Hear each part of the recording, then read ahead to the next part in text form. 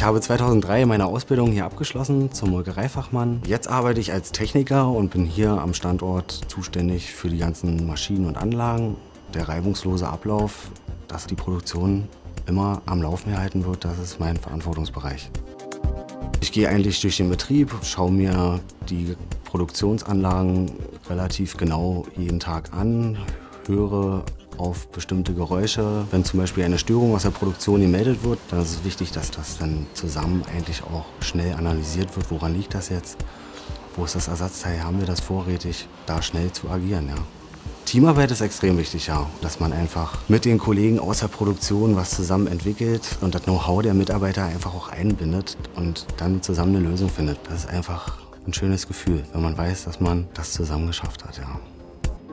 Auch die Energieerzeugung fällt ja unter meinen Verantwortungsbereich. Wir erzeugen hier eigentlich alles vom Frischwasser über die Druckluft, über den Dampf. Und seit letztem Jahr haben wir ein Blockheizkraftwerk hier in Betrieb genommen. Das heißt, wir erzeugen unseren Strom und die Wärme für den ganzen Betrieb selber. Und darauf bin ich eigentlich sehr stolz, dass wir hier sehr effizient und schonend mit den Ressourcen umgehen die Verantwortung für diese Produktion mit zu übernehmen, das macht mit am meisten Spaß. Da geht es einfach auch um ganz, ganz viele Menschen, für die man auch eine Verantwortung mitträgt, die unsere Produkte dann noch her zu Hause auf dem Tisch haben.